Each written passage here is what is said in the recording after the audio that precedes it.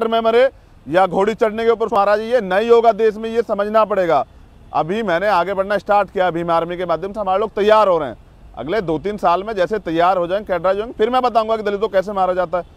अभी हमारा, हम मानवता को मानते हैं, बाबा साहब अंबेडकर के कॉन्स्टिट्यूशन को मानते हैं और उसी के उसी के दिखाए रास्ते पर चल रहे हैं। लेकिन वही कॉन्स्टिट्यूशन हमें सत्ता में भागीदारी करने का मौका था जिस दिन सत्ता में हमारे लोगों की भागीदारी होगी, इस देश पे दलितों में जुल्म जड़ से खत्म हो जाएगा। मैं जबान दे रहा हूँ आपको इस बात की।